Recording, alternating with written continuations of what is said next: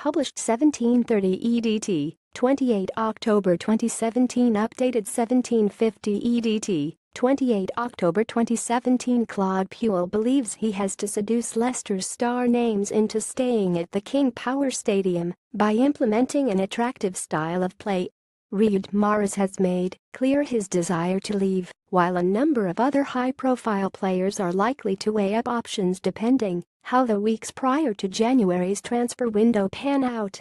Puel knows that one of his first tasks as the new Leicester manager will be to convince the squad his methods are worth buying into. Claude Puel believes an attractive brand of football will help his key men stay at the club. Riyad Mahrez is one of the Leicester players who wants to leave the club. It is down to me to make these players want to stay by the fact we are playing good football, said Puel. I want them to be happy here, with the type of football that we play. I have always got to attract them, to seduce them.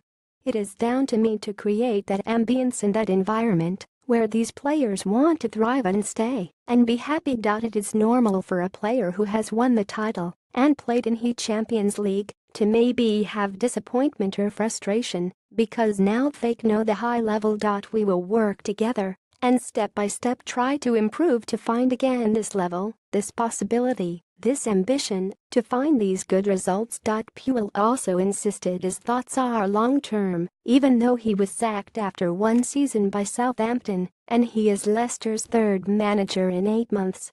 Claudio Ranieri and Craig Shakespeare were both dismissed in controversial circumstances. When you work at high level in professional football at a top club you have to accept that things can happen, Puel said. Sometimes decisions can be taken that you might consider personally to be arbitrary, but it doesn't make you change the way you approach your job. Jamie Vardy will be a beneficiary of an attacking style which Puel wants to establish. He will approach the job in the long term. I will look to develop the club, not in the short term. But obviously you still respect the owners and people within the club. When I come to a job I always try to bring something, not just on the playing side, on the technical football side, but to develop the club as a whole. I think it's important to bring youngsters through, to look at the relationship with the U18s, U21, the first team. You make little tweaks yourself in the belief it is always long-term. But you are also aware, and you are realistic, that it can stop at any moment. Puel will first examine how his current coaching team works before deciding whether to bring in any extra backroom staff. Pascal Plancque, an assistant at Southampton, has joined him again, while Michael Appleton retained his role as number two. I just want us to focus together, he said. For me I like to see the potential of the staff. It is important to take from the club to keep the spirit for the players without changing.